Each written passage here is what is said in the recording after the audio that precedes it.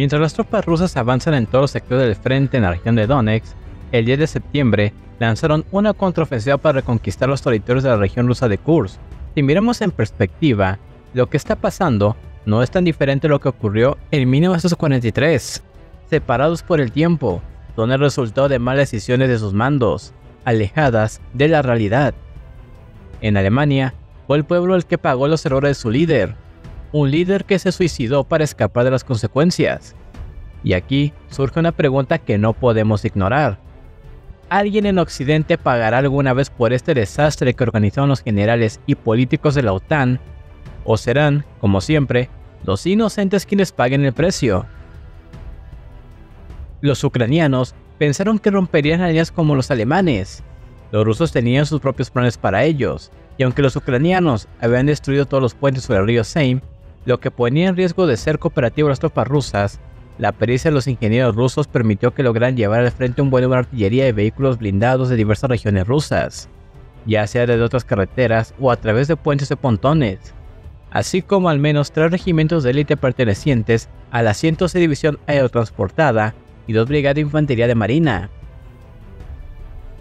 Después de haber estabilizado la situación impidiendo a los ucranianos seguir avanzando, las fuerzas rusas atacó inicialmente en el flanco izquierdo del despliegue ucraniano, entre Snagots y la frontera, con un asalto dirigido por un regimiento de infantes de marina de la 155 Brigada de Vladivostok, Flota del Pacífico, y por el 51 Regimiento Aerotransportado, reconquistando 10 núcleos de población en menos de 48 horas y repeliendo un par de contraataques de brigadas ucranianas 54 y 103.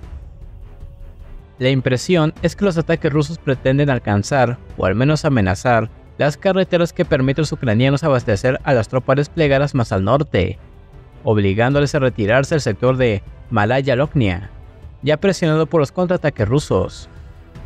Un regimiento de 810 Brigada de Infantería de Marina rusa podría atacar Sucha en los próximos días, iniciando lo que podría resultar ser la batalla más feroz. Según analistas ucranianos del canal de Telegram Deep State, la situación de las fuerzas armadas ucranianas en la región de Kursk sería crítica de cara a la contraofensiva rusa, ya que además de contar con tropas expertas en este frente, los rusos pueden contar con un bombardeo incesante a las posiciones enemigas gracias a la artillería y a una enorme cobertura aérea que opera casi sin ser molestada, no solo porque los aviones lanzan bombas guiadas de precisión de decenas de kilómetros de distancia, sino también porque las defensas aéreas desplegadas por los ucranianos en la región fronteriza de Sumi son detectadas sistemáticamente por drones y atacadas con misiles balísticos Iskander. El general Oleksandr Sirsky dijo el mes pasado que uno de los objetivos del asalto transfronterizo de Ucrania Kursk era obligar a Moscú a desviar tropas aliadas frente del Donbass para reforzar su propia región fronteriza, aliviando así la presión sobre las tropas de Kiev que luchan en este sector. Sin embargo, Rusia solo ha retirado un número limitado de unidades experimentadas del campo de batalla ucraniano, mientras sigue avanzando en el frente principal que Ucrania ha fortificado durante una década. Por ejemplo, el cerco operativo a la saliente de Krasnagora, al suroeste de Adipka, continúa y los ucranianos han pedido recientemente Ukraines, donde soldados rusos de la 114 Brigada hicieron la bandera de la victoria en un conducto de ventilación. Se trata de una captura importante que provocará la interrupción de la logística en la ciudad de Kurakovo y dará acceso a una importante carretera hacia Selidovo. Mientras tanto, las fuerzas rusas han puesto un cerco táctico a Krasniyar y Krutillar y ahora se encuentran a 4 kilómetros de la carretera T-0504, la principal arteria del Donbass. Además, las fuerzas rusas han entrado a Sukiyar y Lisivka, a tan solo 5 kilómetros de Prokopsk, donde aún quedan dos líneas de fortificaciones ucranianas, con zangas antitanque para frenar el avance de los vehículos rusos y docenas de trincheras circulares para proteger las unidades de infantería y morteros. Según la publicación ucraniana Kiev Independiente, en su lucha por consolidar resistencia a lo largo de vías unificadas de defensa frente a oleadas de asaltos de infantería, cubiertos por un desuso de artillería rusa, bombas planeadoras y drones, las fuerzas ucranianas han estado perdiendo territorio a un ritmo no visto desde 2022. Desde la primera ruptura de las líneas de defensa ucranianas en abril cerca de la aldea de Ocheretin, las fuerzas rusas han avanzado más de 20 kilómetros, con el centro logístico clave, que alguna vez se consideró que estaba en la retaguardia, y ahora, gradualmente, está dentro del alcance de la artillería rusa y los drones suicidas. A pesar de los intentos de Kiev de alejar a las fuerzas rusas de Pokrovsk con incursión sorpresa en el Oblast de Kursk, Moscú se aseguró de no levantar el pie del acelerador e intensificó aún más sus ataques durante agosto. Al principio, el despliegue de nuevas fuerzas parecía tener un efecto casi inmediato. El 5 de septiembre, el comandante en jefe ucraniano, Oleksandr Sirsky, afirmó que la ofensiva rusa se había detenido. En declaraciones al Kiev Independiente, durante la semana que pasaron en la zona, los soldados testificaron que la ofensiva en Pokrovsk había disminuido un poco, dando a las fuerzas de defensa un margen de maniobra inestimable para mejorar sus posiciones y organizar mejor su trabajo. Sin embargo, en sus palabras, con los problemas sistémicos en la defensa ucraniana que no desaparecen y una escasez general de personal que solo se ha agudizado, la amenaza de un renovado avance ruso para llegar a las afueras de la ciudad sigue siendo alta. Según la fuente, en el sector de Pokrovsk las fuerzas rusas avanzaron tan rápido que a menudo se encontraron bajo ataques directos. La lucha es intensa y muy dinámica, comentó Alexander, un artillero de 32 años que prefirió no revelar su nombre en clave. Con frecuencia, te enfrentas a situaciones en las que la línea frente cambia de posición muy rápido. Aunque la incursión en obras de Kursk fue elogiada por levantar la moral entre los soldados y civiles de toda Ucrania, el sentimiento en Pokrovsk fue, en mejor de los casos, agridulce. No había euforia entre nosotros, dijo Alexander.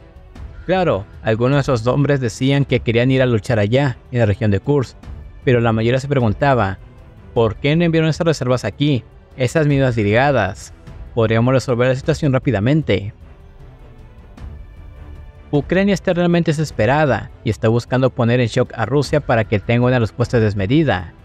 Un ejemplo de esto es el reciente ataque con drones a Toropets, donde se encuentra un enorme depósito de municiones. Videos e imágenes difundidos en las redes sociales del lugar de los hechos muestran una explosión inicial, con una bola de fuego de gran tamaño, seguida de una importante onda expansiva visible, más explosiones en alrededores y luego varios minutos de explosiones secundarias iluminaron el cielo nocturno. Según el jefe del Centro de Lucha contra la Desinformación de Ucrania, Andriy Kovalenko, dijo en Telegram que las instalaciones en Toropets se estaban utilizando para almacenar misiles balísticos suministrados a Rusia por Corea del Norte.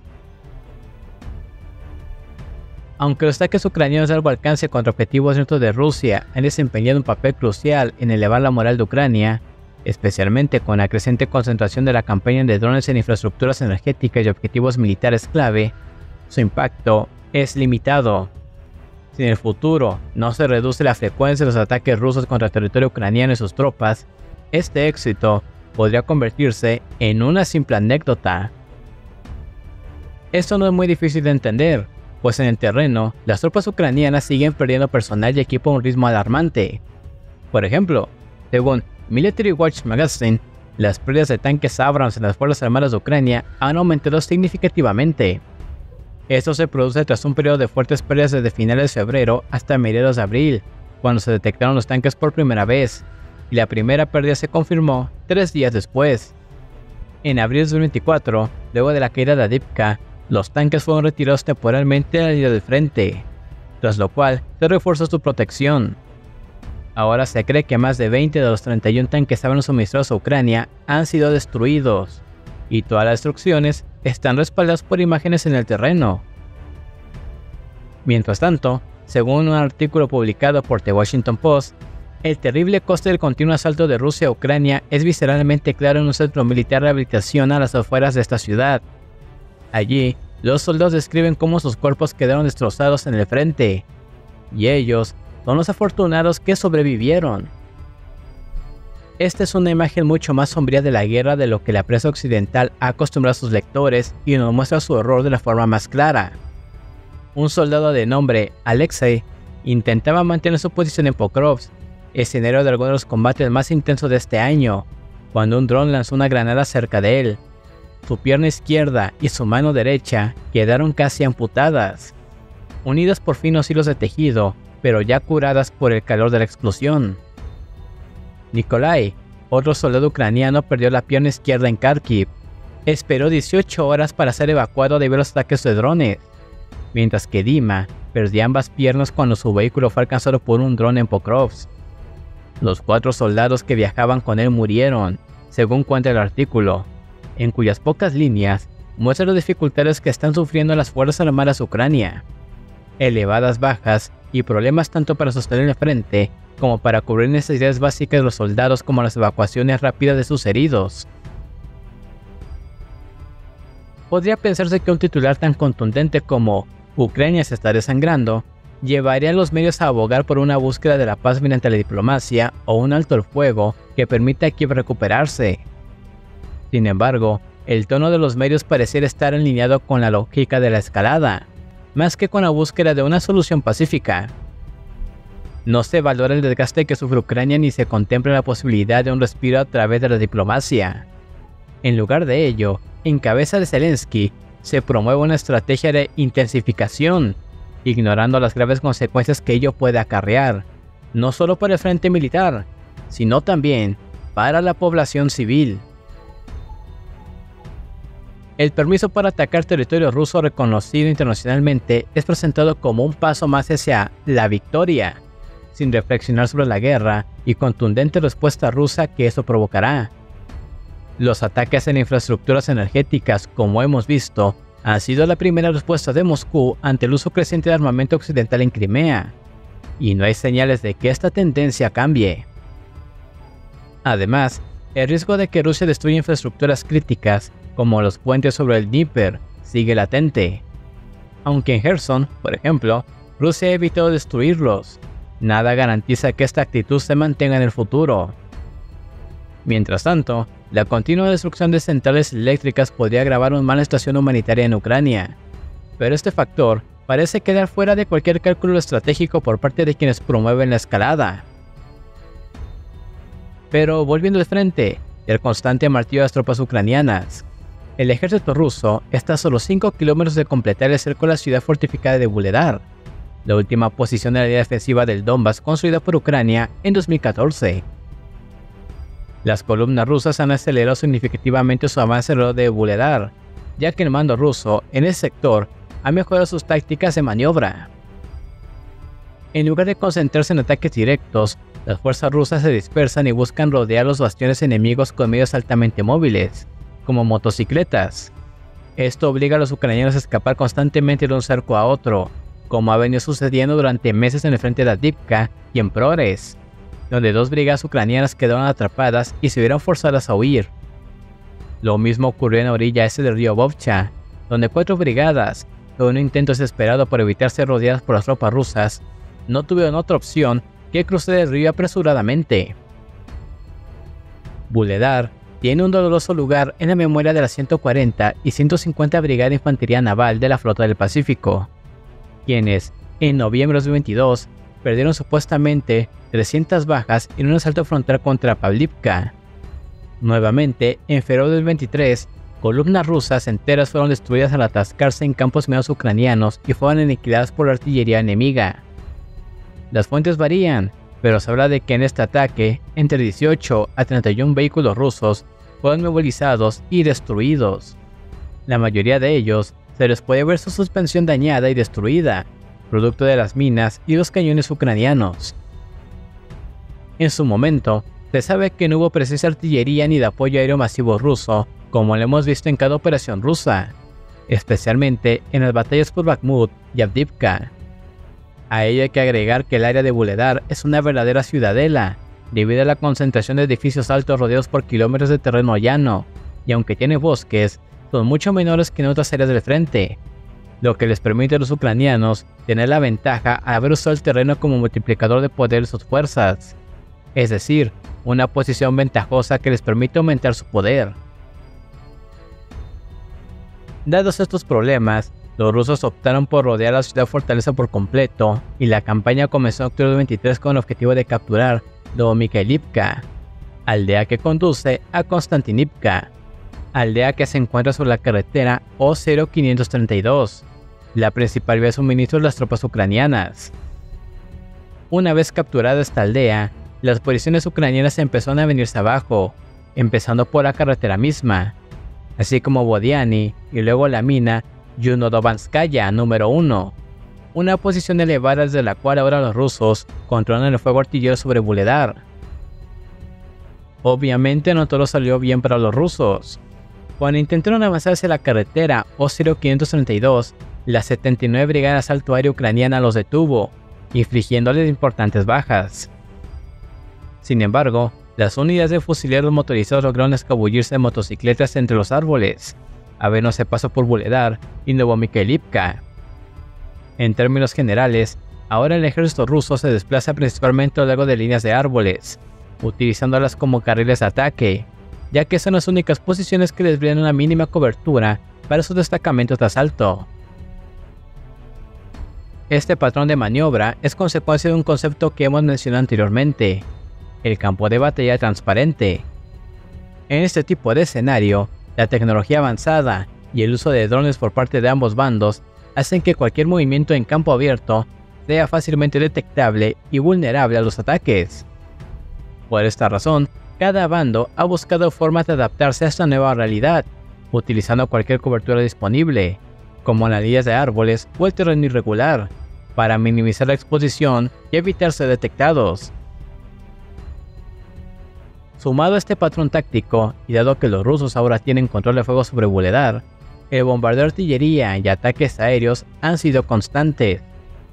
Hemos visto videos en los que prácticamente todas las zonas bombardeadas sin cesar, convirtiendo el área en un campo de destrucción continua.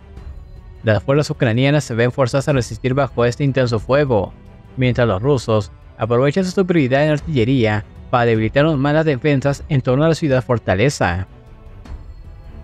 Y para finalizar, tal es la desesperación en el estado profundo occidental ante una derrota ucraniana que el pasado domingo 15 de septiembre en el International Golf Club de West Palm Beach, el servicio secreto abrió fuego y arrestó a Ryan Road, un hombre de 58 años que portaba una AK-47 y equipos varios para cometer un presunto ataque contra el expresidente Donald Trump, quien se encontraba jugando golf en el lugar. Las investigaciones del FBI han revelado que Road es un pro-ucraniano que tras ser rechazado por el ejército ucraniano en el 22, se dedicó a reclutar personas más jóvenes tanto de Estados Unidos como de otros países, llegando a colocar banderas fuera de su casa a las diferentes nacionalidades reclutadas. Este sería el segundo atentado contra Trump en un momento tan importante como son las elecciones en el país. Y si bien el primer evento sirvió para catapultar al controvertido personaje, este nuevo suceso ha servido para que incluso Rusia filtre su propaganda a favor de Trump.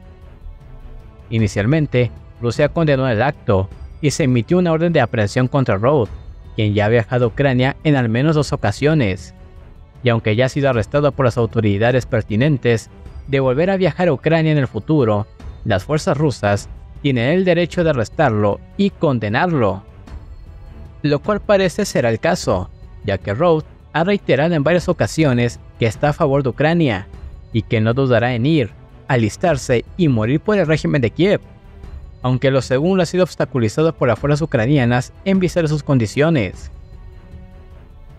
Asimismo, varios medios independientes rusos han otorgado su apoyo a Trump diseñando lo que personajes como Hillary Clinton califican de propaganda, y lo cual ha sido desacreditado por estos mismos hasta el punto de que Meta ha tenido que intervenir y negarles el acceso a sus servicios a estos medios.